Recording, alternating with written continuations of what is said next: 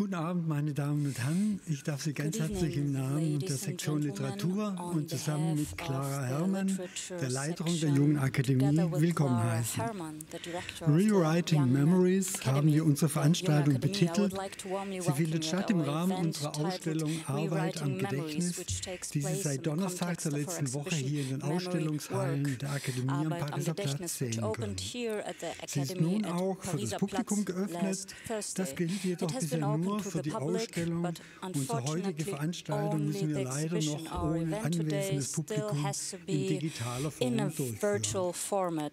Doch für die internationale Ausrichtung der Veranstaltung ist dies sicher kein Nachteil. Sie können sich nun, egal wo Sie sich im Moment befinden, zuschauen.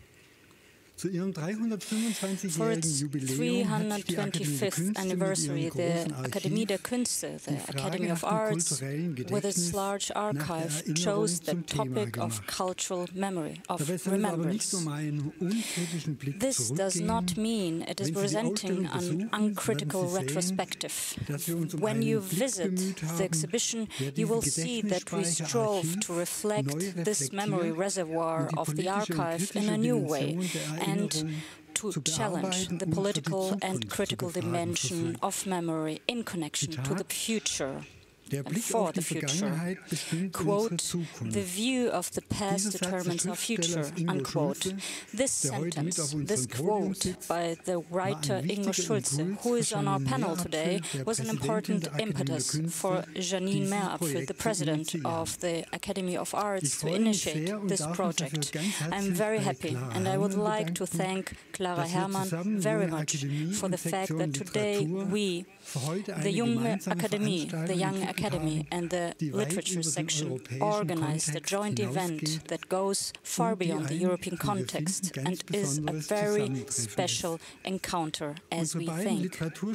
Our two literature fellows, the Indian author Meena Kandasamy and the Senegalese author Mohamed Mbougar Sarr, who lives in Paris, will meet their mentors, Academy members Ulrike Draesner and Ingo Schulze. All four will read texts that were prepared in advance uh, for this evening and will discuss personal and collective memory in literature.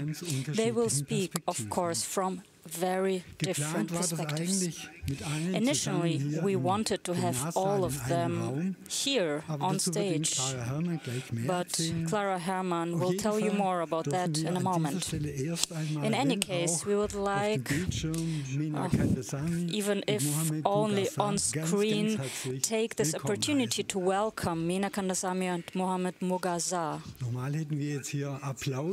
And usually we would have applause here in this room, but now we need to make do without it. They will be interviewed by the author and literary scholar Daniela Dröscher. I would like to mention at least her latest book, your latest book, the memoir Zeige deine Klasse, die Geschichte meiner sozialen Herkunft from 2018, uh, Show Your Class, the story of my social origin. And recently we were able to hear a small excerpt from the novel she's working on during the readings at the Alfred Döblin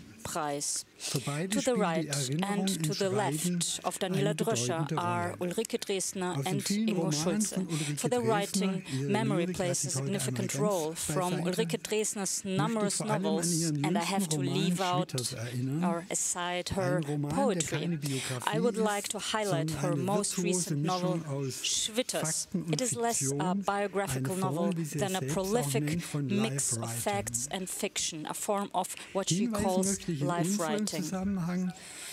In this context and in the context of tonight, I would like also to draw your attention particularly to her novel published in 2014, Sieben Sprünge vom Rand der Welt, Seven Leaps from the Edge of the World, a monumental multifarious composition of memories about the flight of a Silesian family, amongst others, and the devastating power of memory. Ulrike Draesner is also represented in the exhibition below with the installation Die Hirnbrille, Brain Glasses. It is based on an essay in which Ulrike Draesner sets out on a quest for the black voice in the archive of the Academy and finds only a gap. A truly remarkable essay printed in full in the exhibition magazine. At the beginning, I briefly mentioned that Ingo Schulze's quote was something of an impetus for this exhibition, of which he probably had no knowledge of until today. But the quotation already suggests that for him, uh, memory work directed into the future is more than a sideline. Anyone familiar with his essays, speeches, articles, and especially his novels knows that he's more than a politically oriented author, a committed author in the best sense.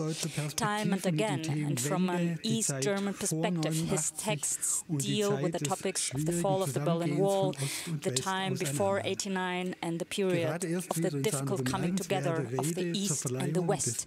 Just recently, it was demonstrated by him with his remarkable acceptance speech at the Dresden Art Prize, but also in his novels, from simple stories to the monumental novel New Lives and the novels Adam and Evelyn and Peter Holtz, and most recently in 2020, Die rechtschaffenen Mörder, the righteous murderers. In a way, his writing is also a convincing case for the importance of rewriting in the sense of reflecting, shifting, and advancing the collective memory. Another topic which, to our shame, plays only a minor role in our general consciousness and remembrance, and to which Draesner's concept of the gap might be applied as well, has to be pointed out on this date, June 22nd. Today marks the 80th anniversary of the invasion of the Soviet Union by the National Socialists. National Socialist Germany. And Ingo Schulze wrote an important, very worthwhile article about it in the Taz newspaper that was published today. Also, now I would like to thank Clara Herrmann and the authors once again for the contribution and cooperation. And now I would like to give floor to Clara.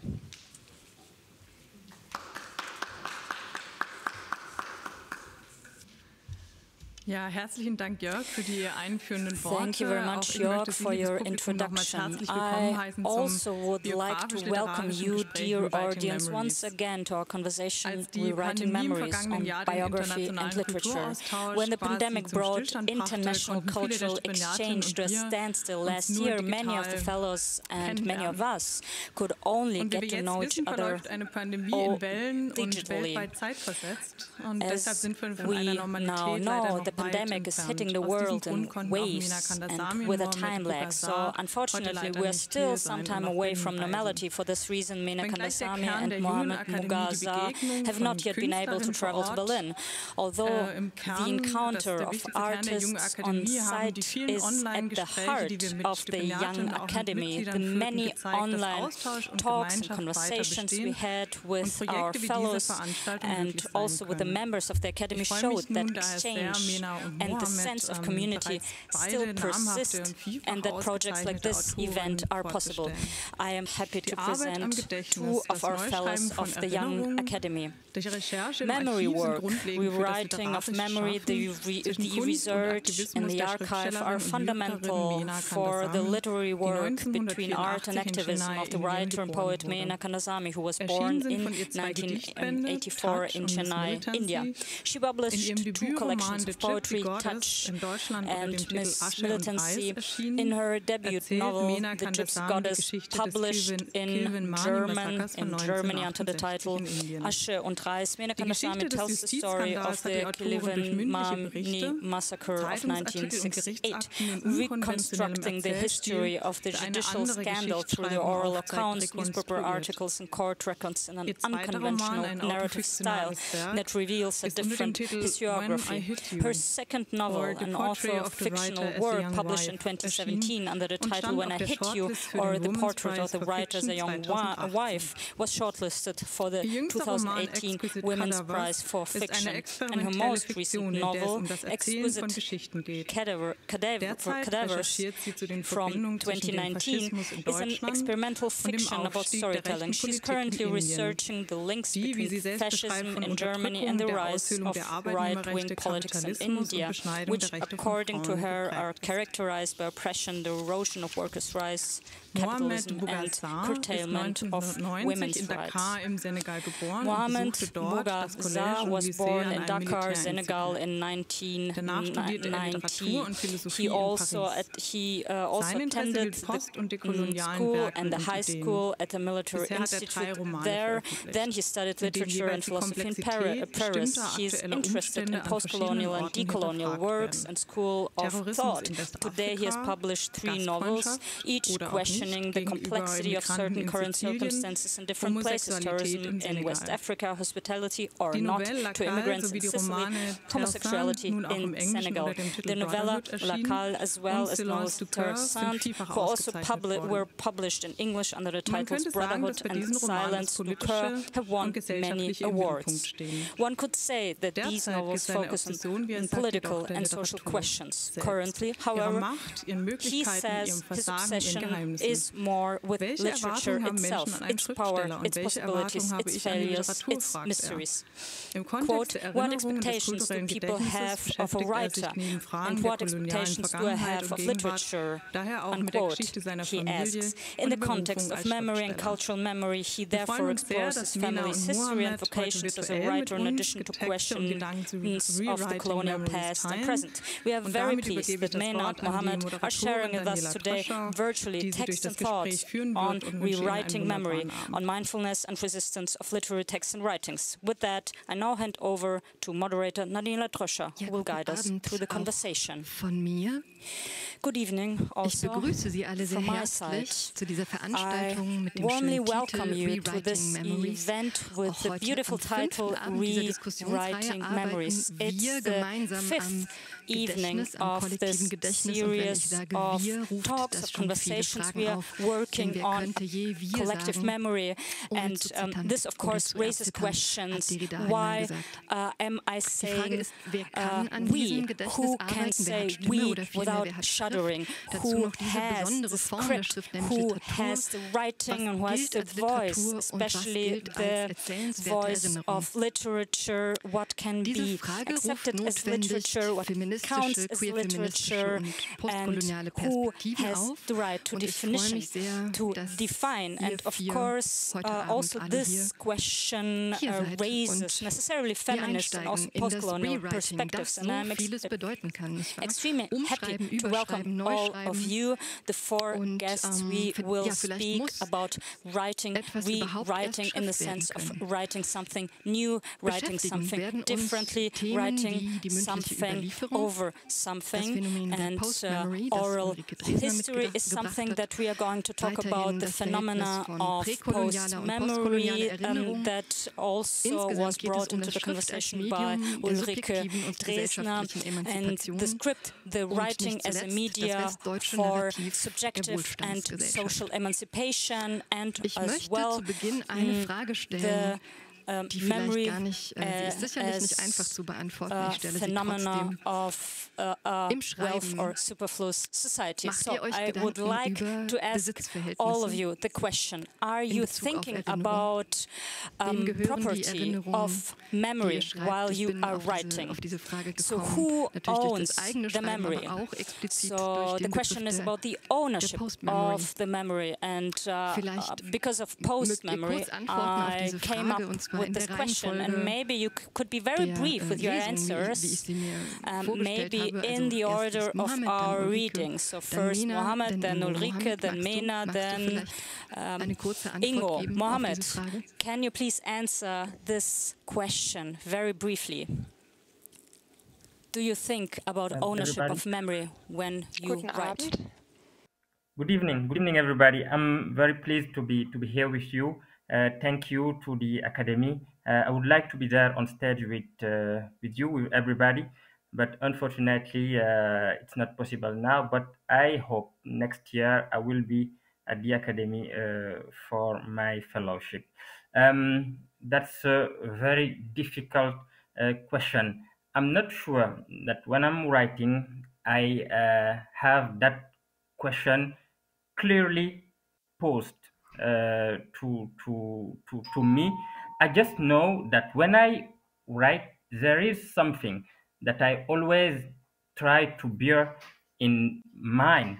Uh, it's that the way, the, the, the, the, act, the simple act of writing is an interrogation on uh, memory and on history. But I'm not sure that at the beginning of the act of writing, I know uh, or I ask myself who own the, the, the, the memory. That's a question that comes far later.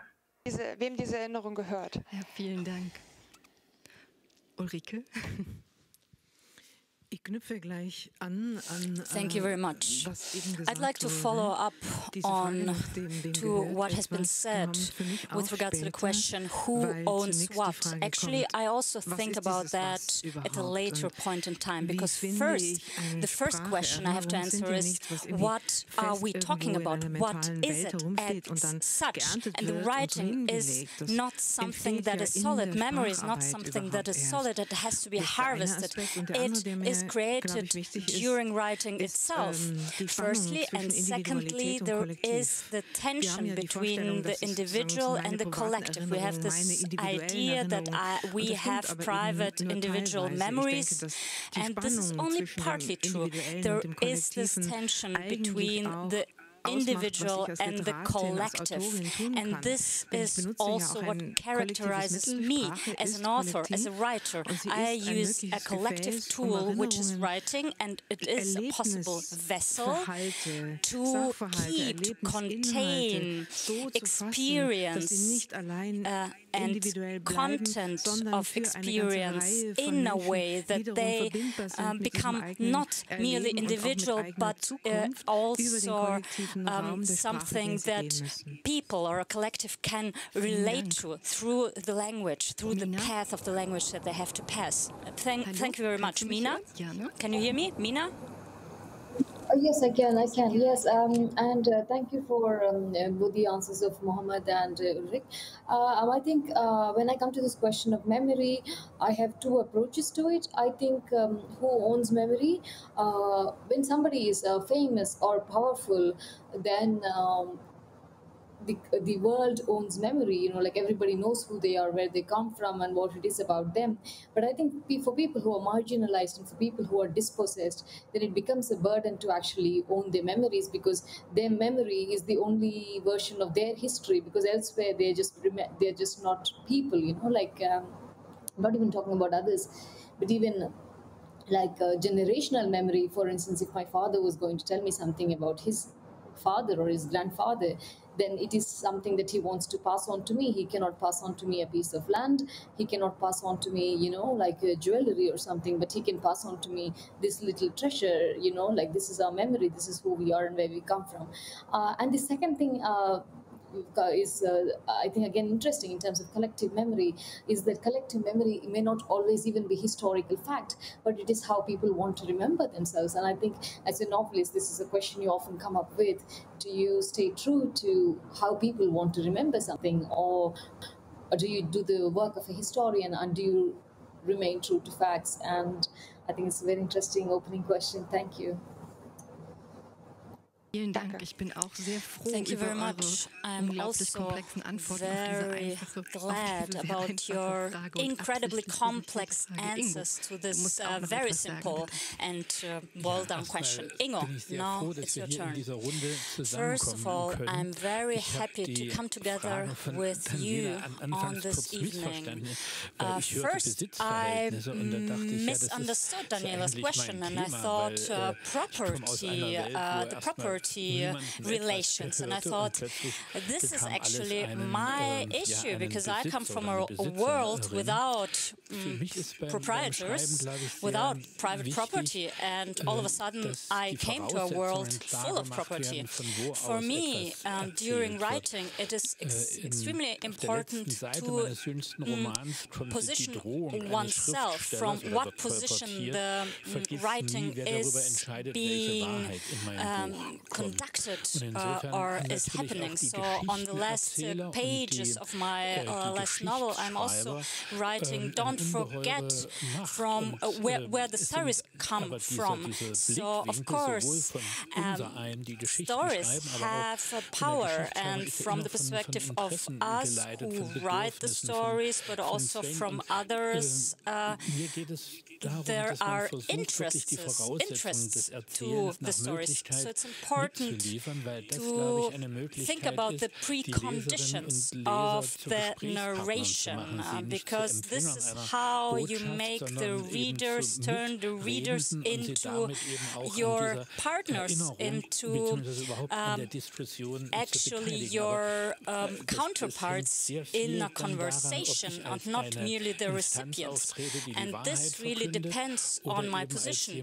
Either I position myself as uh, somebody who embodies or conveys the truth, or as a narrator who is not sure of themselves or himself. Thank you very much for the first round. I already sketched out our order. And, uh, we start with Mohammed with his uh, beautiful text and also Ulrike who uh, brought a fantastic piece of literature as well. And then Meena and Ingo. And also I, I ask you to participate in the conversation, so we don't have a strict order. Mohammed, your text has the title Speaking memory or remembrance, and it is about matriarchal uh, lineages and äh, about the resistance of forms, especially about uh, resistance of uh, oral. Yes. Um, Nyangoy Respeaking Memory. Chez les Serrars, l'ethnie sénégalaise dont je suis originaire, un jeu à la fois simple et étrange qui s'appelle Nyangoy.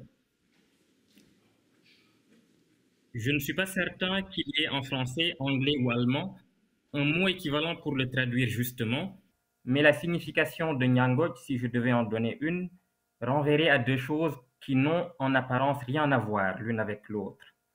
D'une part, il a trait aux empreintes laissées par les crabes sur une plage, d'autre part, il évoque un bout de corde qu'on offre. Comme beaucoup d'enfants de mon village, j'ai été initié à ce jeu qui évidemment, vous le devinez déjà, plus qu'un jeu, par ma grand-mère maternelle, Mboyil. Elle est aujourd'hui décédée, mais une part essentielle de son héritage et du souvenir que je garde d'elle tient dans cette pratique qu'elle m'a enseignée. Les règles du Nyangoy sont simples. Il s'agit d'un questionnaire ou, plus exactement, d'un dialogue sous forme de questions-réponses. C'est Moïl qui commençait. Je vous en donne la version originale d'abord et traduite ensuite. Antika ou Nyangoy À qui vais-je donner le Nyangoy disait-elle. Mi, moi, répondais-je. Ane, toi qui? Mi Mbougar, moi Mbougar. Mbougar Ane, Mbougar de qui? Mbougar Sabo. Mbugar de Sabo. Sabo année, Sabo de qui Sabo de Mboyil. Mboyil année, Mboyil de qui Mboyil Ngas. Ngas année, Ngas Tening. Tening année, Tening Sabo. Sabo année, Sabo Khan. Khan année, Khan de qui Khan Djate. Khan de Djate, etc., etc. Je m'arrête là pour ne pas vous ennuyer dans ce dialogue qu'il faut s'imaginer très rythmé et très sérieux, et pourtant ludique, Mboyil me fait dire et répéter les noms de la lignée féminine de ma branche maternelle. Je suis Mbougar et je viens de Sabo, qui vient de Mboyil, qui vient de Ngas, qui vient de Tening, qui vient d'une autre Sabo, qui vient de Khan, qui vient de Djaté, et ainsi de suite jusqu'à Ngolo, qui serait mon ancêtre féminin le plus lointain dont on ait gardé la mémoire. Ngolo aurait vécu au XVe siècle. Inutile de préciser qu'après ma lignée maternelle, ma grand-mère s'assurait que je connaissais aussi ma lignée féminine du côté paternel qui remonte, elle, jusqu'au XIVe siècle. Et sa fonction, une fonction à la fois symbolique, philosophique et pédagogique. Je passais ainsi chaque semaine plusieurs heures de mon enfance à jouer à ce jeu qui, vous le savez maintenant, est tout sauf un jeu, ou alors c'est le jeu le plus crucial qui soit, un jeu qui engage de profondes questions existentielles. Parfois, cela m'ennuyait et je refusais de répondre, ou, déconcentré, confondais Han et Tening, placé Ndemad avant Sanou. Ma grand-mère s'énervait de temps et me disait, lorsque je pensais que je ne voulais pas jouer, que je regretterais un jour de ne pas être plus assidu à ces séances. Je sais aujourd'hui que ces heures font non seulement partie des souvenirs les plus impérissables de ma modeste vie, mais qu'elles en constituent aussi l'une des grandes fiertés. Jusqu'au XIVe siècle du côté de mon père et jusqu'au XVe siècle du côté de ma mère, je connais les noms des femmes dont je suis le descendant. Et pourtant, je ne suis pas tellement obsédé par mes origines. Ma fierté ne tient pas au simple fait que les généalogies matrilinéaires de ma famille vivent en moi, Ma fierté vient plutôt du fait que ces mémoires n'aient pas été effacées avec le temps, mais surtout qu'elles n'aient pas été détruites par une entreprise qui a pourtant ravagé avec la plus grande violence des pans entiers de mémoire et d'histoire sur mon continent et à travers le monde. En jouant avec moi au Nyangoy, Mboïl ne m'apprenait pas seulement que ma trisaïeule s'appelait Ndias ou que la brave Ngolo au milieu du XVe siècle portait déjà une part de mon sang. Non, en jouant avec moi, en me faisant réviser mon arbre généalogique par le langage, ma grand-mère me disait Il y a une part de mémoire dans la parole, et cette part-là, même si elle a été blessée, n'a pas été détruite. Le plus important pour moi, avant de réécrire la mémoire ou l'histoire, est de les reparler.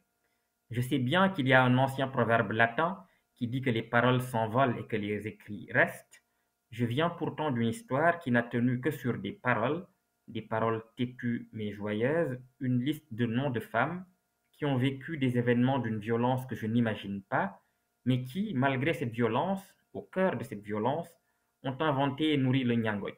C'est une leçon pour moi. Lorsque l'histoire est niée, la meilleure réponse est peut-être l'invention, l'invention des formes pour la maintenir en vie ou la ressusciter. Ce principe d'invention, qui est toujours un principe de courage, est ce qui m'émeut. Le Nyangoy est la preuve que quelque chose résiste ou a résisté, quelque chose dans la parole soutient la mémoire blessée. Non solum scripta sedeciam verba manent. C'est la question que vous vous posez tous. Le rapport du Nyangoy avec l'image du bout de corde qu'on offre est évident.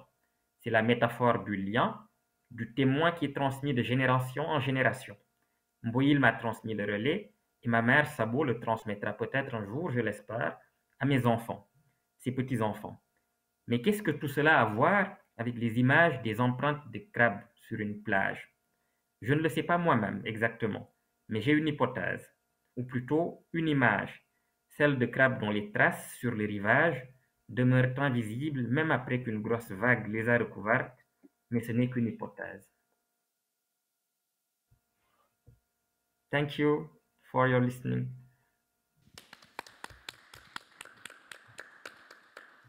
Ja, vielen Dank.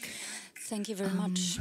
Ein Teil des Gedächtnisses steckt in der Sprache und dieser Teil wurde zwar verletzt, aber nicht vernichtet. in the language, but this part was not harmed, uh, was only harmed but not destroyed, uh, has been only damaged and not destroyed. Thank you very much for this second, uh, for this uh, very important sentence. As I see, it's um, in a way a dual translation. It's the translation of a century long ancient tradition or an oral tradition into writing, and then it's a translation from one language to another. What happens um, through this dual or twofold translation?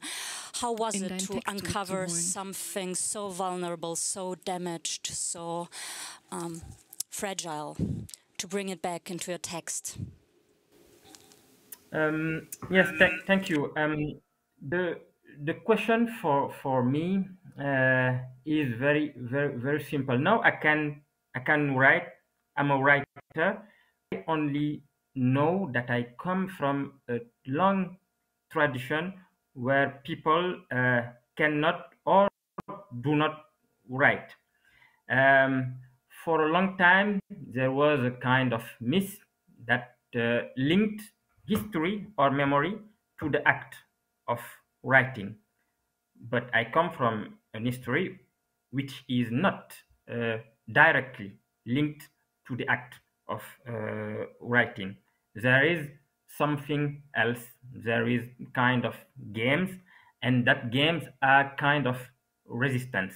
Uh, so all I have to do um, in that question is just, as you said, to translate something or to collect something, a kind of memory, who uh, which lies in uh, that game or that uh, that Nyango, as I tried to explain to explain it, and um, that's that's something um, I, I don't really know if I translate something, but I know there is in that uh, different uh, ways to resist uh, something that can pass in writing without losing its powers uh, as a as a as a as a word as a, as speaking.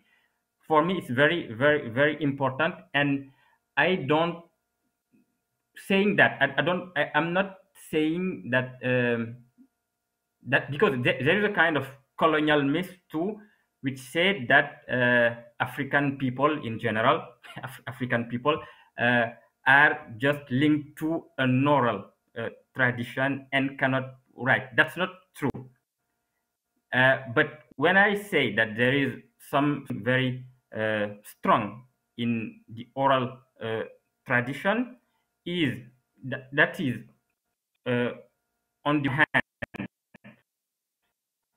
to uh, kind of uh, there is no history in, in Africa, and on the other hand, to say that there is an history who begins from an oral tradition and can now have uh, a translation in uh, in in writing, and that's that is very important for me, and that's something that I um, now that I discuss about with my mother and uh, with my aunts and with my grand aunts uh, who are still uh, living, and uh, they told they, they that yes they, they, they told me um, sometimes that um, it's very important for them to have a writer now in in the family Ja, vielen Dank. Ähm, Thank you very much. Eine, ich bin auch die erste, erste I'm also Schriftstellerin meiner Familie. The first author, the first writer in my family. So in a way, I can relate to what you just said. The only or the first writer in the family, and I think uh, Ulrike too, and Ingo, all of us are the first ones in our families. And also, I would like to ask you, Mohammed, about your rhythm. The rhythm plays an important role in your text the rhythm is a moment of resistance, in how far it is also a gender specific uh, moment of resistance. Um, in my in my in my family, um, the question of the the rhythm is very very important, and that's a a, um, a reason that look like to be a kind of repetition, but it's not very clearly uh, repetition. I'm a very bad actor, but when I uh, read the, the text, I had to put more rhythm on it, um, like as my grandmother uh, used to, to, to, to, to do. And that's um, uh, very important to have, um, yes, to, to, to say uh, in the question the rhythm and the rhythm is uh, the life of the game. That's very very very very simple. So when a game is a oral uh, game its life or its blood lies for me in the uh, in the, the rhythm. And all the women of my family know that and insist on on on on on, on that. Uh, speaking is not just um, having sentences is to feel that in that sentences there is a kind of life. And as uh, gamers as speakers as writers we are responsible uh, of that life who, which lies in the sentences Ja, vielen Dank. Das ist vielleicht eine Thank schöne Überleitung This zu Ulrike Draesner, und zwar im doppelten Sinne. Oralität ist introduction and transfer to Werks, Ulrike Draesner. I would und, say ähm, um, alien ja, or other Leben, people's memory is in a way a red thread uh, in your work and also uh, something that conveys through the non-verbal, through facial facial expressions, gestures, body language, last but not least, also through eloquent silence. It's a very important material for you. So this is what you brought here nicht, tonight, this alien or strange memory möchtest du sie ein wenig ausführen, uh, that has been passed down for generations. So do you want to say anything about it? It's called Memory Loop, this uh, is the title, or do you want to read it straight away? I would like to comment on Mohammed's text. Thank you very much. Uh, this text made things even more clear to me, and I had to think about the fact that in our bodies there is genetic material that is being passed down or uh, transferred through mitochondria and not through uh, DNA. So only through the mat ma maternal lineages, not mm, through men. So this is how you can create chains of uh, lineages, genetic lineages from mother to mother. Uh, and this is what the genetics, for example, uh, do and uh, the scientists do. And in this game, we have this passing down, this game of memory where um, you think only about the memories, uh, about the mothers. And I was very touched because, firstly, in my work, um, the connection between body and memory, body and language plays a very big role. Embodied language in children's games play a very important role. And also, I remembered, or it came, became clear to me that I don't know the names of uh, my mother's female ancestors and my father's female ancestors because we don't have this tradition. Because also in the documents, women were not properly registered. Uh, there were only registered with their nickname or with their first name. Uh, the documents were lost. So this chain, in a way, gets interrupted very often. And this is why I found this game very powerful. And also, it shows us the, the advantages of an oral tradition, of an oral literature. Uh, what also uh, poses the question to us how we can change our modes or adjust our modes or how, can, how we can also find new approaches to our literature and our ancestors. And this is also uh, the introduction to my own text because uh, I was dealing with how memory is stored in um, the body, the embodied memory, the post memory that I speak, where memory is also stored through facial movements, gestures, the, the physical.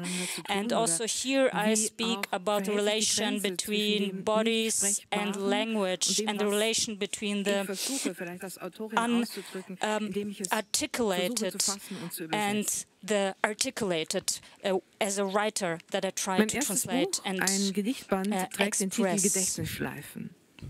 Als es 1995 erschien, wunderte sich ein mancher, warum es mit Erinnerungen an Situationen einsetzt, die vor meinem Geburtsdatum liegen. Ich hätte die Frage damals nicht beantworten können. Ich wusste nur, dass es richtig war, dass ich Erinnerungen hatte, Erinnerungen an Verletzungen, Erinnerungen von Verlusten, die mir gehörten, nicht gehörten. Heute nenne ich, was zahlreiche meiner Texte durchzieht, Arbeit an der Sprache des Nachgedächtnisses. Ich beziehe mich auf den Begriff Post-Memory, wie Marianne Hirsch in Anfang der 90er Jahre in einem Artikel zu Art Spiegelmanns Maus entwickelte.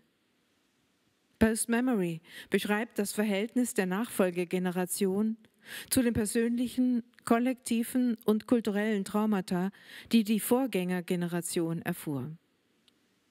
Hirsch entwickelte das Konzept anhand eigener Erfahrungen sowie unter Auswertung literarischer und künstlerischer Darstellungen des Phänomens der fremden Erinnerung. Die Erfahrungen der Vorgängergeneration oder Generationen werden vermittelt durch mehr oder minder anekdotische und rudimentäre Erzählungen, durch Bilder und Verhaltensweisen erinnert, inmitten derer die Nachfolgegeneration aufwächst. Es kommt zu derart intensiven Weitergaben halb oder gar nicht ausgesprochene Erlebnisinhalte, dass Kinder und Kindeskinder sie als eigene Erinnerungen wahrnehmen. Post-Memory bedeutet eine Verbindung von Gegenwart und Vergangenheit, doch Imagination, Projektion und nachempfindende Erfindung. Wer mit überwältigenden ererbten Erinnerungen aufwächst, beherrscht von Geschichten, die der Bewusstwerdung vorausgingen, steht in der Gefahr, die eigene Lebensgeschichte zu verlieren. Sie wird durch traumatische Bruchteile von Ereignissen geformt, die sich, jedes Verstehen übersteigend, der Besprechbarkeit noch immer entziehen. Fremdes Gedächtnis, geteiltes Gedächtnis, fragmented and shared. Literatur ist Grenzgang. Sie sucht das Entzücken, den Abgrund, Lob, Klage, Liebe, Krieg, eine Welt mit und eine ohne Ich, bezieht sich auf den Redegang als solchen, sprechen, verstummen, schweigen, stottern, macht Sprechbarkeit zu ihrem eigensten Prozess, was durchlaufen, was in der Form aufgebracht wird. Literatur hat die Möglichkeit zu übersetzen. Übersetzung aus einem Leben in ein erfundenes Geschriebenes. Von dort in ein weitererzähltes. Übersetzung von Nichtsprache in Sprache. Bearbeitung der Grenze der Sprachlichkeit.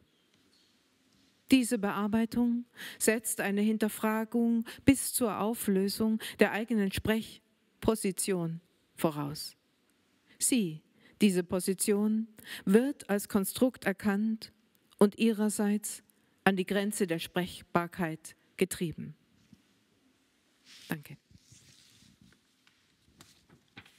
Ja, vielen Dank, Ulrike. Thank you very much, Ulrike. Dieses sehr komplexe Schweigen, das This brichst, very immer wieder brichst silence Texten, neu. You have been constantly breaking in your Ist es überhaupt writings. zu unterscheiden, jetzt spezifisch auf deine. Literatur bezogen, was davon ist Is ein Symptom des Krieges und was any difference? Can you Patriarchats? Ist das differentiate between patriarchy and Nein, the result of the war? Ähm, es legen sich oder No, I don't think so.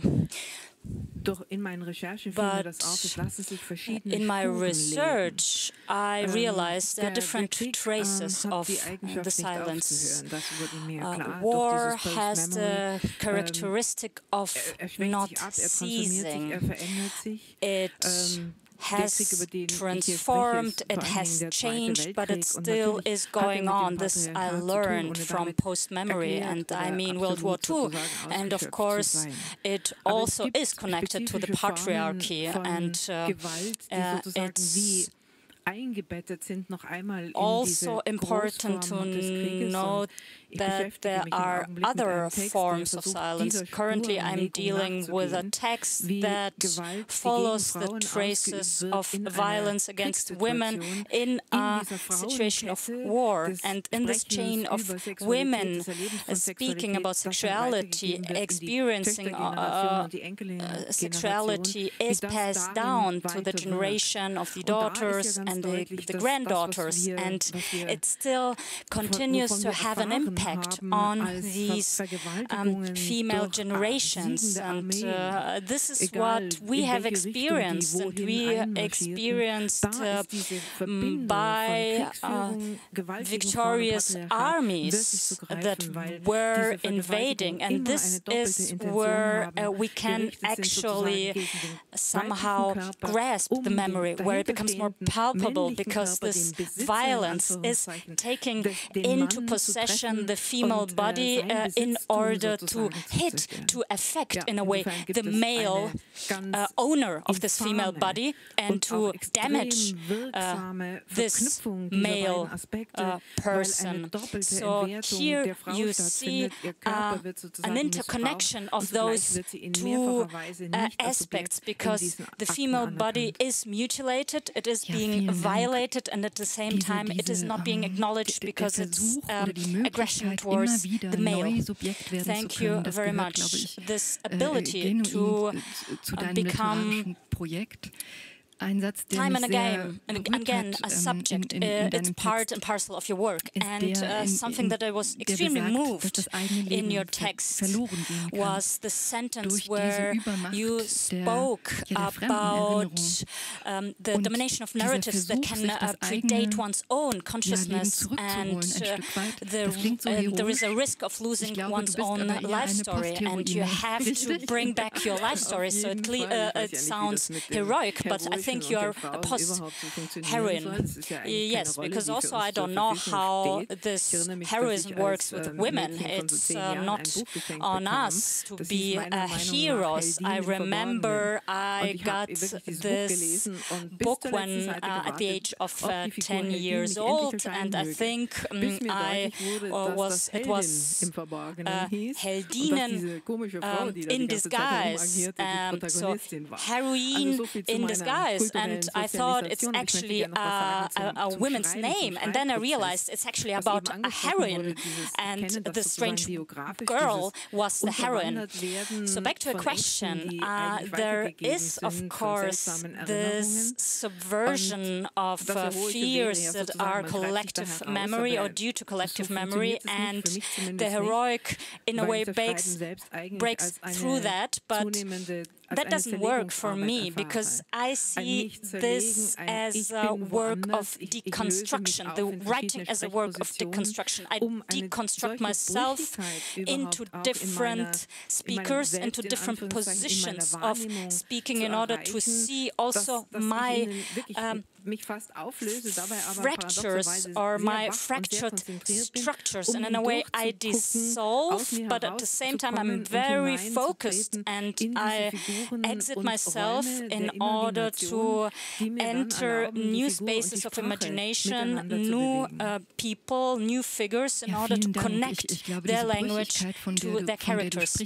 Thank you very much. Also these fractures that you speak about uh, in this fragility uh, is also connected to the acknowledgement ähm, of the harm and damage and uh, the violence. I don't even need to comment on, them, on that.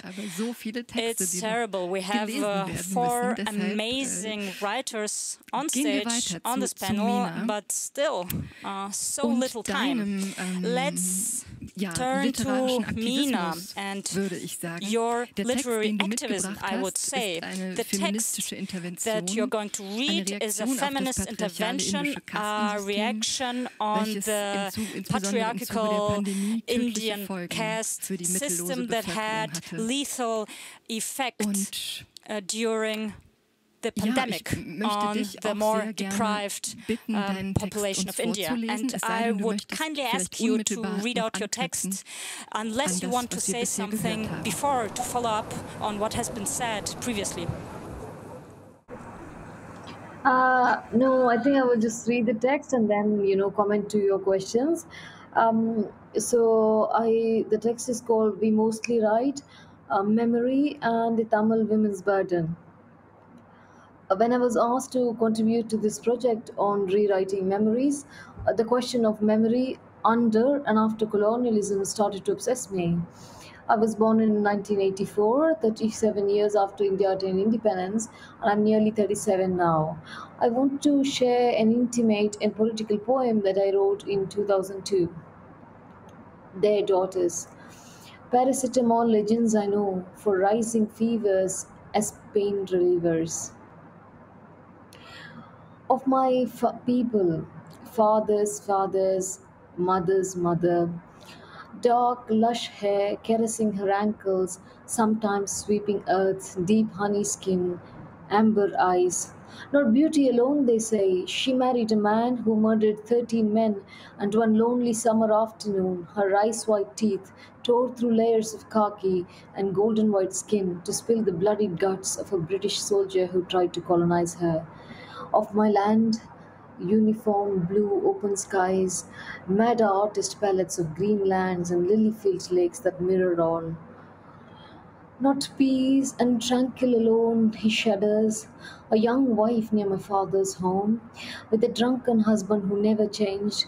She bore his daily beatings until on one stormy night, in fury, she killed him by stomping his seed bags. We, their daughters, we, the daughters of their soil, we mostly write. The politics of writing memory in the shadow of colonial history is no small thing. When you're a woman and when you come from mixed caste parentage, my father comes from a nomadic tribe, my mother comes from the low Shudra caste, writing memory is not a creative activity, it is combative activism. In a composite and hierarchical society like India, the writing of memory is further vexatious because we exist not only as post colonial subjects or citizens of a new nation state, but that our independence itself was only a sham project, one which removed the temporary authority and oppression of the British and handed us back to our old masters, the Brahmanical caste patriarchal system. While it said that colonial history served to crush, erase, and manipulate collective and individual memories, uh, as Cotton, Johnson, and Resolved, I want to stand up and say that our memories were crushed, erased, and manipulated collectively and individually even before the colonial powers set foot on our lands. And this happened because we were the oppressed caste under Sanatana Dharma or Brahmanism, the caste system, because we were women under this caste patriarchal system which uh, forbade us all education, all learning, all independence. And this is the elephant in the room that a lot of scholars of colonialism and post colonialism fail to address that there were systems of oppression in place before the onslaught of colonialism, and these systems colluded with the colonial powers during their reign, and that the overthrow of colonialism did not always witness the birth of radical equality. My charge in the previous sentence that scholars fail to address is a mild understatement. What we have witnessed over the years is the academic tendency to present the manifestation of caste in the present day as an artifact of British colonialism. Uh, there is the done to death Kundera quote the struggle of man uh, against power is the struggle of memory against forgetting. In the specific context of India, this power that obliterates, annihilates, erases without a trace, this power operates on multiple levels this caste, gender, ethnicity, geography, Brahmanism, Sanatana, or this power of caste Brahmanism, Sanatana, or this power of caste is unlike any other discrimination in the world. It is religiously ordained as a matter of life. Erasing the memory of the oppressed, erasing the history of militant resistance by the oppressed has been intrinsic to this caste system. I intentionally muddy these waters in the hope that such agitation would give rise to clarity. These are only some of my introductory comments about the process of writing literature and how I see literature as a conscious effort to create and fashion public and social memory or history. Uh, writing cannot also be divorced from the social context. Uh, ravaged by the coronavirus pandemic, my country has become an open air crematorium. The banks of rivers have now become shallow mass graves. In this backdrop, I looked at archival material. The Census of India of the Madras Presidency from one century ago speaks of a story that eerily corresponds to our times uh, I begin a quote, it will be seen that seven of the cities return a smaller population in 1921 than in 1911. The decline in Salem is due to the visitation of plague, which coincided with the census. In the case of Nagapattinam and Cuddalore, which have both fallen by 10%, the decline is attributed to the slackness of trade. In the case of Tiruchirappalli, the decrease in the population is ascribed to high mortality, which in turn is attributed partly to distress consequent on the high price of foodstuff and partly to the epidemic of influenza. To the same causes may be attributed the decrease in the population of Kumbakonam and Tanjore. The census was about counting by a colonial authority, an authority which cites numbers but does not own up to their own guilt and atrocious role in causing famine, their lack of intervention in disease prevention, their lack of treating their subjects as human beings on par with themselves. Today, as an independent nation, we are struggling against undercounting by our state authorities, an authority that does not own up to its own role in the exponential rise in deaths, which has done nothing to secure lives or livelihoods, and which has let everyone die.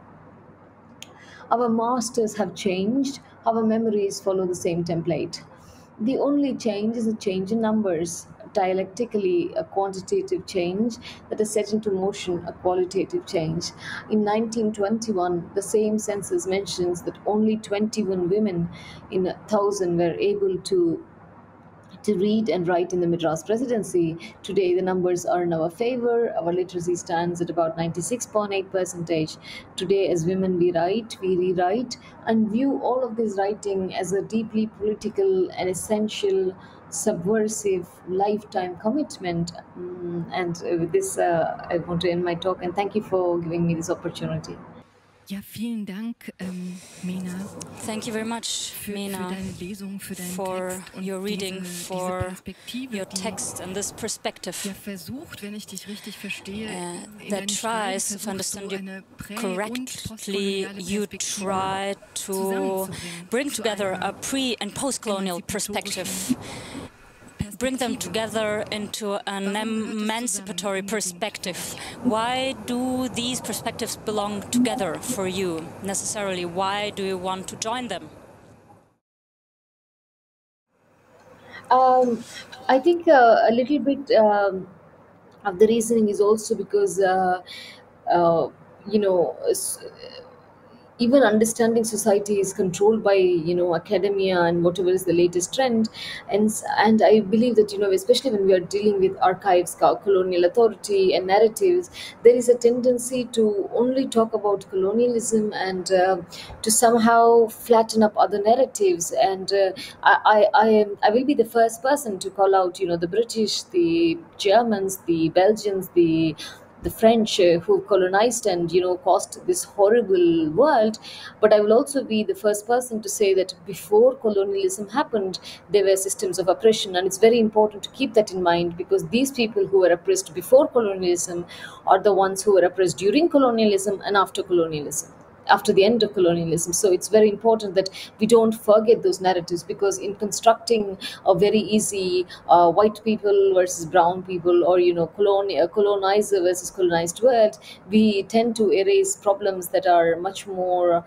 Uh, much deeper impact, like the caste system, for instance, and I think um, uh, that that these are things that need to be unpacked especially like let's look at women's education women were not supposed to read women were not supposed to get educated and uh, as a tamil woman i also think this is much more layered because um, uh, Tamils did not generally exist within this framework of the caste system. Caste is a much more later entrant into Tamil culture. So we also suffered an additional level because of that. Like when did caste come and when did caste patriarchy start infiltrating Tamil culture. So I think these are these are important questions for us to ask ourselves as a people. Und hast du, da, hast du das Gefühl, du wirst gehört? Do you have the feeling that you are being listened to, or where are you being listened to with this um, uh, pre-colonial perspective that you are insisting on? No, no, no. Uh, no, I think that outside of academia, this question of um, the question of you know uh, colonial oppression is not the number one question that exists on people's mind because um, if you look at I, I now live in india and i have for the past um, more than half a year now after you know 30 years of first living here. And i think people's concerns are much more about um, everyday oppressions under the caste system, the kind of uh, violence that women face in terms of arranged marriages and things like this. And uh, therefore, I think there are, you know, there's obviously there are obviously you know the the remnants of colonialism are always questioned no, there's no doubt about that but i think that's not the most burning issue. Of course it's not about whether i am listened to.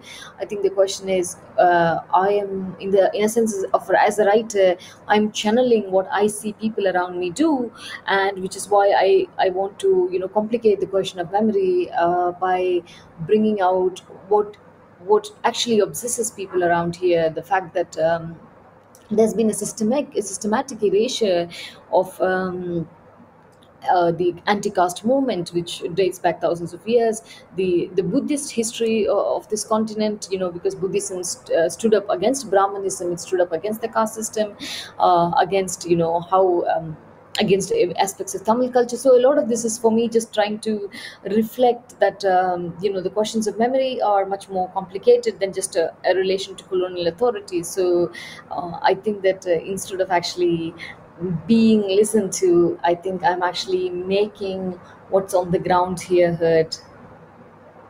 Machst du dir, im, also ich frage noch einmal ein bisschen in die Richtung. I would like to dwell on that question. Do you think about äh, the resonance space that you write äh, into? Uh, in your uh, last novel, recent novel, I was uh, very astonished by your. Um, epilogue. And Ulrike Draesner also wrote an epilogue. And in a way, it's typical maybe that feminist writers write their epilogue themselves and try to somehow position their own literature uh, by themselves. Uh, because uh, you, uh, in a way, work a lot with uh, identities and uh, with stereotypes in this epilogue. And um, you deal with that already yourself. So do try to anticipate I wish, I, wish I, I, wish I can take credit for that. Um, I wish I can take credit for that epilogue, but uh, that epilogue is um, written by Deepa, uh, a, a, critic uh, and reviewer in India, and uh, she kind of anticipated the criticism that would come to a feminist text, especially a feminist text of autofiction.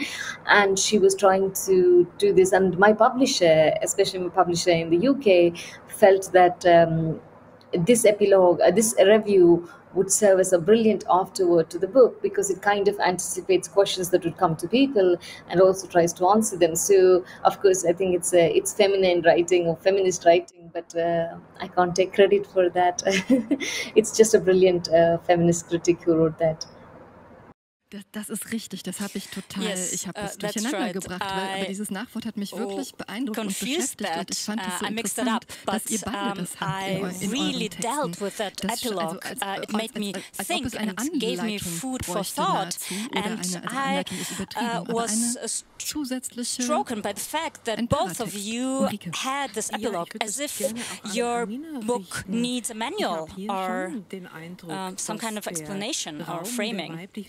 Yeah, actually, I just wanted to follow up on that. I feel that the space for the ähm, female voice in writing still äh, is uh, quite narrow or a new ground that needs to be in a way uh, discovered. Uh, and for example, also for me, there was this question what does it mean ähm, to uh, resort to uh, autobiographical material to biographical material. What does it do to yourself? And uh, Ingo said as well, you wanted to pass the ball to your readers in a way and get into a dialogue.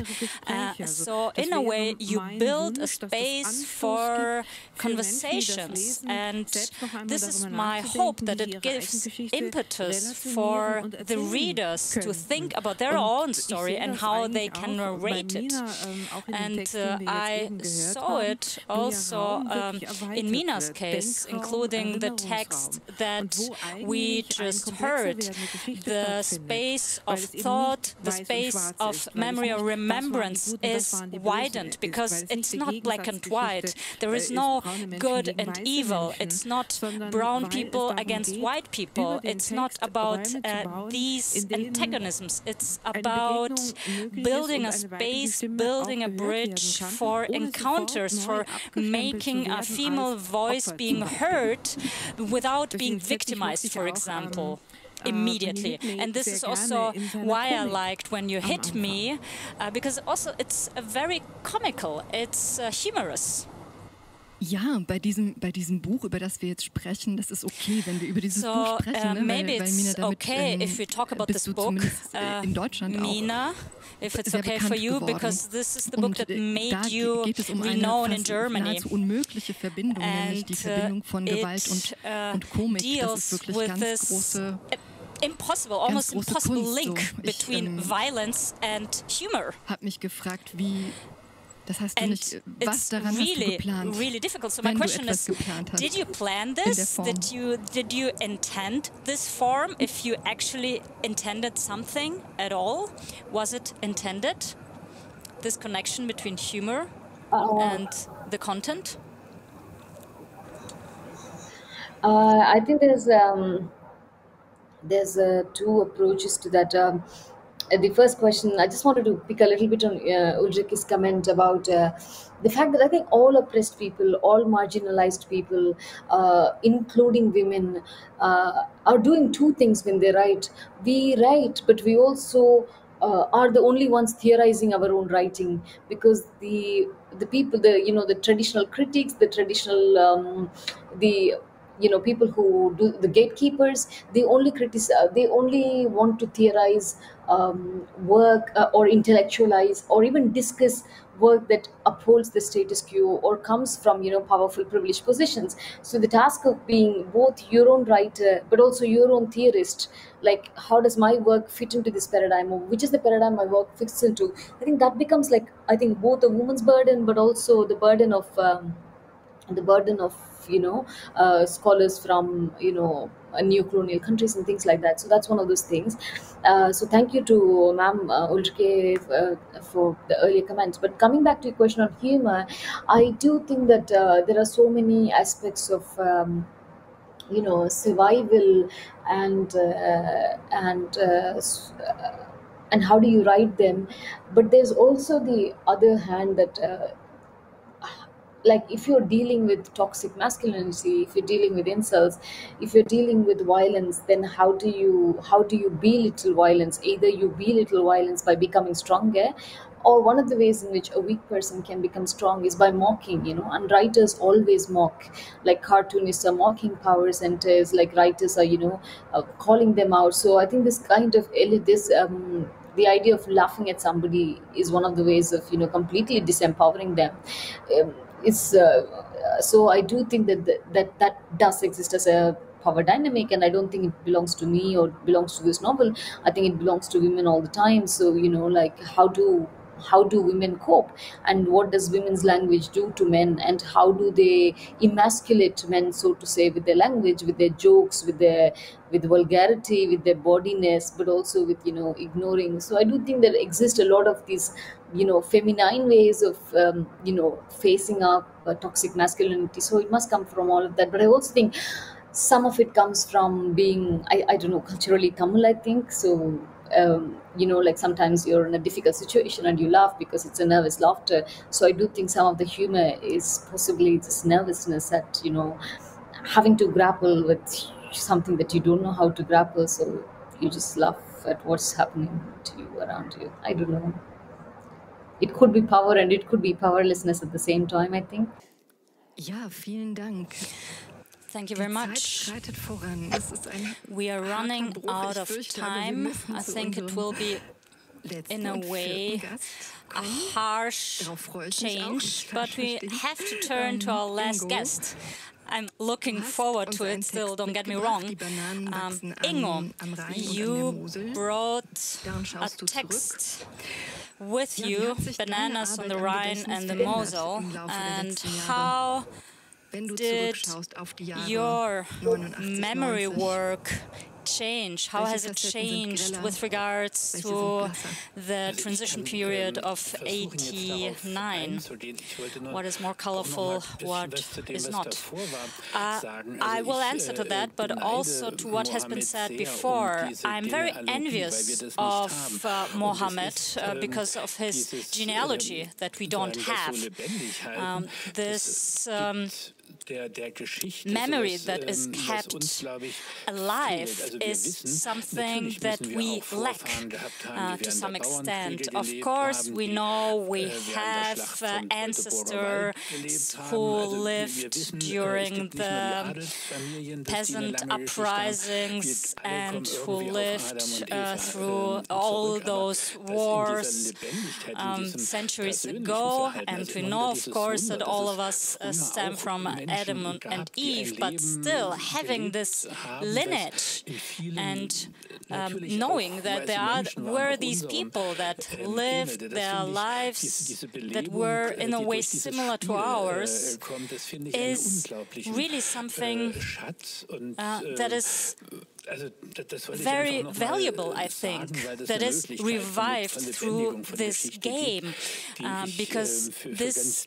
in a way, revives history in a very important way, I think. A question that I would like to ask all of uh, you, but maybe uh, because we're running out of time, only to our two guests. You were speaking about the space and what kind of space are we writing into? When I'm asked about the impact of literature, I step uh, into the shoes of the reader. Uh, and I would like to ask Meena and Mohamed, what brought you to this writing or this kind of writing? Because I think this is um, also a pose of resistance in a way, but more than that. So, how did you get there? Maybe you can briefly answer that or tell us. Uh, I'd be interested, and now we have the opportunity to uh, talk to each other. Mohamed, do you want to answer first? Um, thank you, thank you, Ingo. Uh, I, um, when it comes to to to say uh, how I uh, get or started to write or started to write in a certain way, it's also very very difficult. I'm always very um, sad to answer and to say that I have no uh, mythologic uh, narrative of the beginning of writing. Um, I, I, I, I like like like you said, as you said, I, I, I just started to write one day because I think that I was a very committed reader, and that's that. And when I started to write, at that moment, I started to talk with my uh, mother, with my grandmother, with uh, my father and grandfather, with my family, and uh, the question of history, of memory, and of the place that I have, I can, I could take as a writer started there because I just started to have discussion with uh, with my my my uh, my grand grand grandparents. It started. It, I can't say that it started there, but it's not a, a really strong, solid, and absolute uh, point of, uh, of of start a start. That's not very very clear.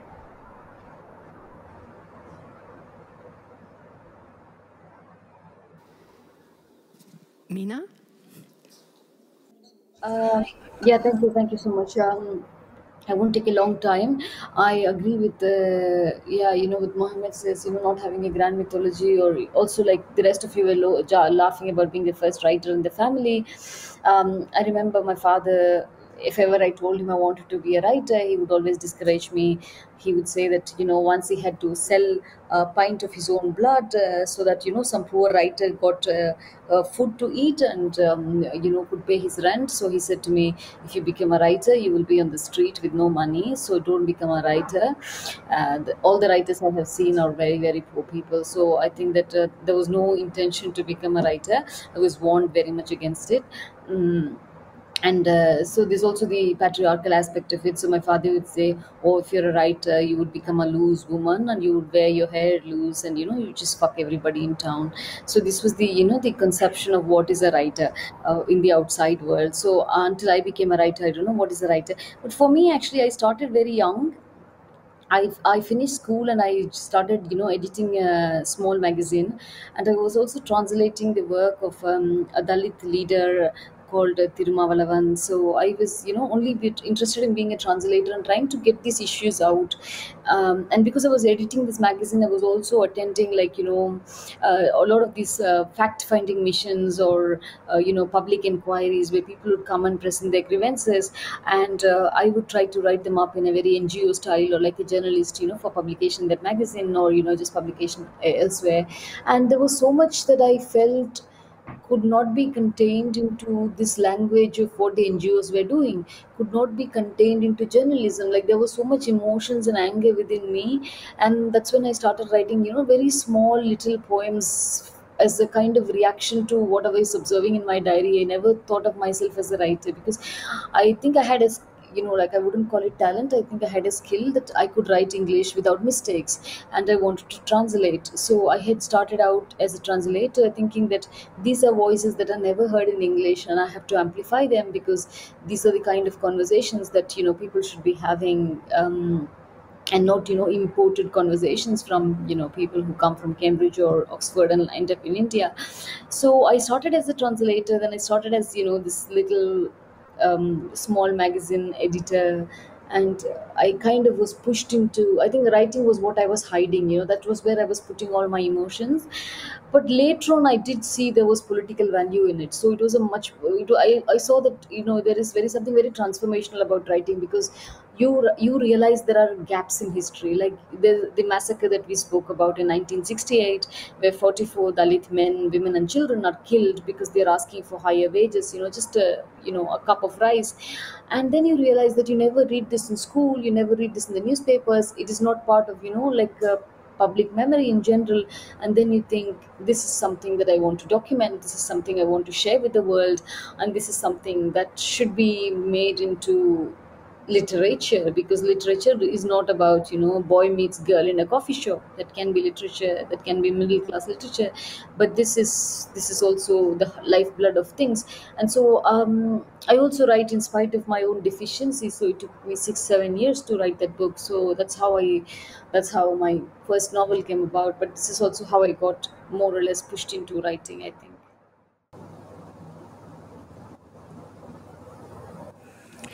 Schade, dass wir jetzt hier nicht äh, zusammen, äh, alle zusammensitzen. Dann könnten wir unsere Geschichten noch ähm, erzählen. Ich habe angefangen zu schreiben, weil ich schnell berühmt werden wollte, weil ich nicht zur Armee wollte. Und uh, stories about so our beginnings. I wanted to also be a writer so because I wanted to become famous and not be enlisted in the army because uh, writers were the famous uh, ones in uh, our country. So now I'd like to read my text. Bananas on the Rhine sich mein Verhältnis zur Vergangenheit. Wie wir die Vergangenheit sehen, bestimmt unsere Gegenwart. Wer die Deutungshoheit hat über die Vergangenheit, regiert auch die Gegenwart. Für meine Erinnerung ist der Umbruch von 1989, 90 entscheidend, weil sich in diesem Moment alles geändert hat. Nichts ist davon unberührt geblieben. Es hat sich nicht nur das Geld geändert oder das Essen oder die Kleidung oder die Straßennamen oder die Luft oder der Beruf, sondern auch die Liebe, die Freundschaft. Keine Beziehung ist über kurz oder lang davon unberührt geblieben. Es wäre zu einfach zu sagen, es wäre ein Wechsel von ideologischen Abhängigkeiten zu ökonomischen gewesen, aber natürlich war es auch das. Für mich ist es immer ein Problem, über die Zeit vor 1989 zu schreiben, weil ich dann in Gefahr gerate, durch meine Kritik an dem damals das heute ungewollt zu rechtfertigen. Für mich lässt es sich nur als ein Wechsel von Abhängigkeiten und von Freiheiten beschreiben. Eine in Deutschland geborene und aufgewachsene Autorin aus einer türkischen Familie sagte mir vor einiger Zeit, du weißt, dass du einen ostdeutschen Hintergrund hast, ich weiß, dass ich aus einer Migrantenfamilie komme, nur die Westler wissen nicht, dass sie Westler sind. Das ist ja vereinfacht gesagt, trifft aber im deutsch-deutschen Gespräch doch einen wichtigen Aspekt. Während die eine Seite als normal oder als Maßstab gilt, wird die andere durch den Grad an Abweichung bestimmt. Besonders gut sind diejenigen aus dem Osten, die angekommen sind, also bei denen der Abstand nicht mehr existiert. Interessant ist die Analogie zwischen der Herkunft aus dem Osten und der aus Migrantenfamilien. Denn für sie ist vieles nicht selbstverständlich, was für jemanden, der im Westen geboren worden ist, nicht in Frage steht. Natürlich muss da sehr differenziert werden, das auch das Alter spielt eine Rolle und vor allem im Einzelfall besagt das gar nichts. Es wäre interessant, die Vergangenheit der beiden deutschen Staaten im Vergleich zum globalen Süden zu untersuchen. Dieses Kriterium fehlt meines Wissens bisher in der Analyse. Auch wäre es interessant, Ostdeutschland mit dem Instrumentarium der Postcolonial Studies zu untersuchen, Anteil an Besitz von Grund und Boden, Immobilien, Betrieben, Anteil an Führungspositionen. Als Reaktion auf die ersten freien Wahlen hielt ein damaliger Grünen-Politiker, Otto Schilly, eine Banane in die Kamera. Das sollte heißen, die Ostdeutschen haben den Wohlstand gewählt, die Banane. Darauf gab es sehr unterschiedliche Reaktionen, zumeist kritische. Aber in keiner Reaktion wurde der selbstverständliche Anspruch auf die Banane, auf deren Verfügbarkeit in Frage gestellt, als würden diese an Rhein und Mosel wachsen. Ja, vielen Dank, Ingo. Ähm, den Text Thank you very much, Ingo. deutlich an. Ähm, Your text refers clearly to the research of Naika Foroutan, who brings together these forms of the othering of the East Germans and the migrant experience. And there are some parallels and some um, parallels are lacking. And um, um, you point out that it is important to have this. uh, self-critical perception um, by the West Germans, right? The self-critical speaking from the West Germans.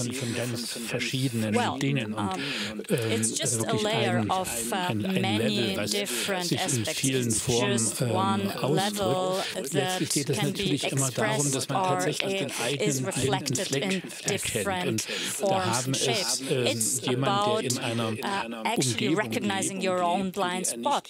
For example, if a person lives in an area where they not have been born into, uh, it is easier to uh, see a lot of things, and uh, you have to uh, relearn a lot of things. So this is uh, why you recognize something, uh, and it is um, something that came naturally through the transition of 89, which was also very drastic and radical in our case, and it has advantages and uh, disadvantages. In my recent novel, that consists of three chapters, three parts.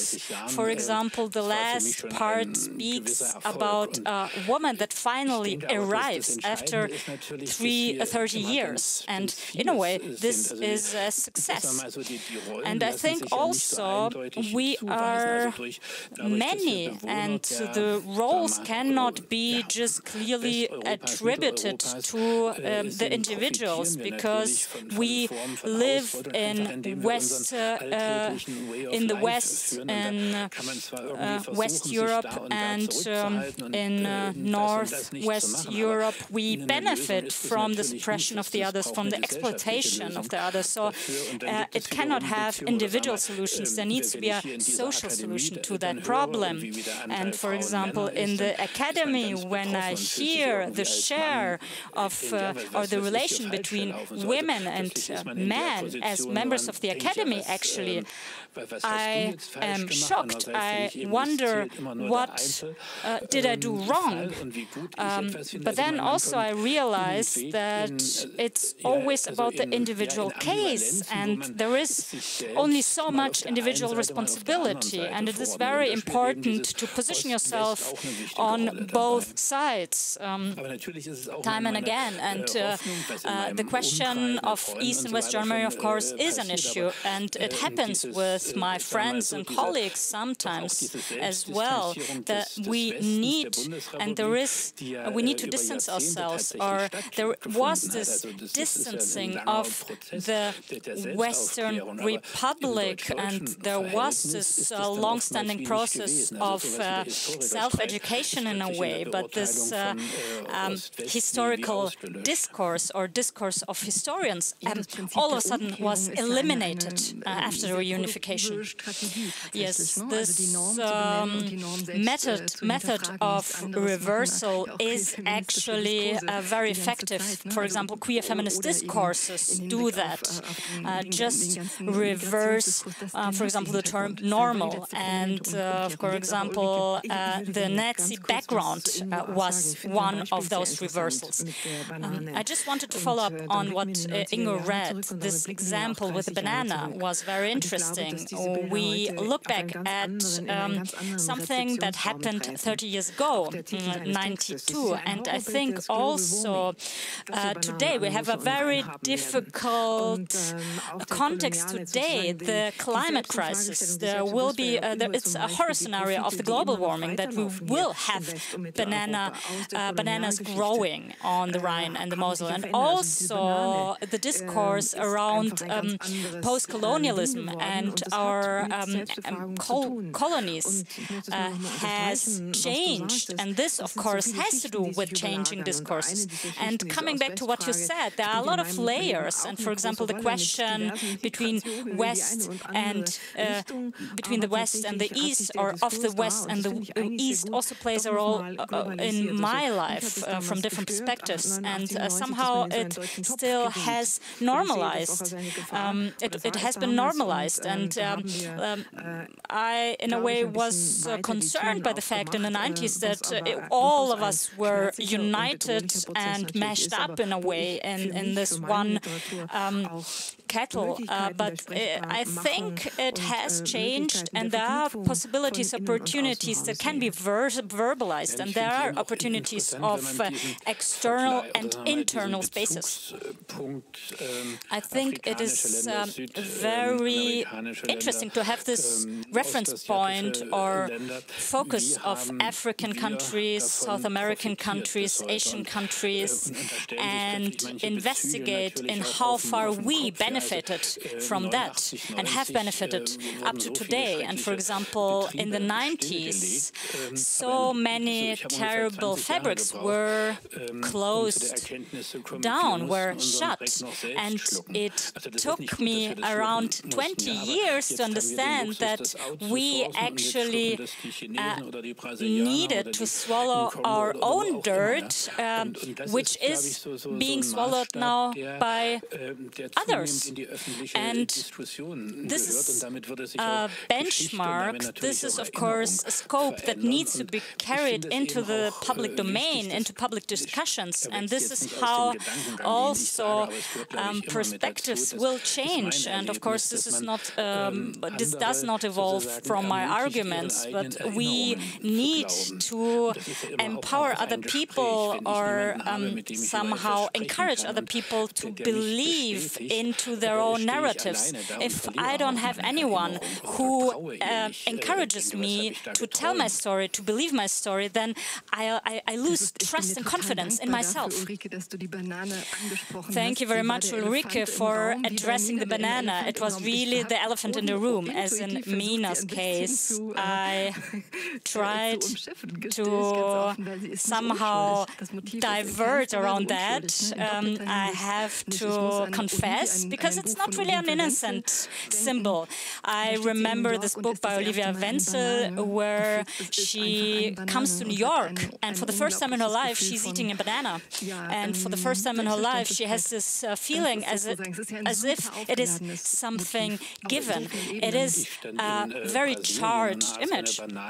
I was in Brazil and I was eating a banana once, and I felt that this is the first real banana that I'm eating because what we were eating here in Germany uh, weren't bananas. I'm afraid ähm, we are now eventually running out of time, unfortunately. I would like to close with a question. I'm not sure whether it is a question, it's hidden somewhere. Ähm, I uh, had to think, based on the fact that all of us are the first writers in our families, um, about a book by Nadja Spiegelman, uh, because you uh, mentioned uh, Nadia Sp uh, Maus by Spiegelman, and uh, her grandmother says, well, a writer in the family is a murderer in the family, because they are the ones telling all the secrets. And of course, it is also connected to death, to breaking the silence in a way. This is very violent, it's very violent metaphors, but at the same time, it's a way towards emancipation individual, subjective, and also social emancipation? And what hope are you dealing with in your texts currently, if at all? This is a big question, I know a large question, but maybe you have a concrete an answer. Mohamed? Um, I don't know if I have I have uh, so much hope. I don't I don't want to look like uh, very very despair. The, the, the, the fact is that as um, a, a, writer, I uh, know or I try just try to not to, to I, I just I, I know that there is not very much um, hope, but the act of writing, I believe on I believe I believe uh, to that that that act the act of writing. Uh, so very the very uh, paradoxically, I could say, uh, writing is on one hand the sign that maybe there is no much hope, but it's also uh, the only hope that I that I have. Uh, I know that's not that's a writer's answer, but I have to, to, to assume it, and you have to deal with that.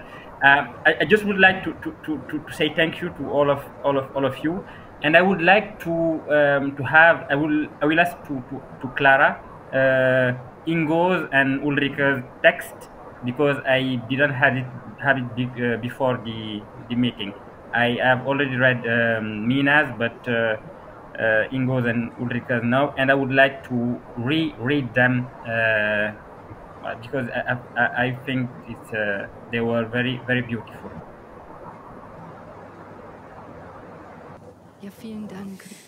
Thank you very much, Meena.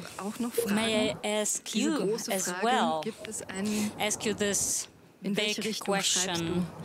What direction are you writing towards or in right now? Is there any hope? Uh, well, I, I always think there's hope.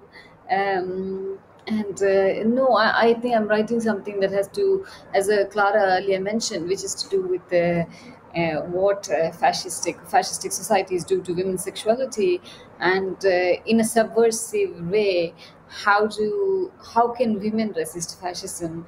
not necessarily by taking up arms, um, but how do they react? Uh, resist fascism by just being independent, by just being themselves.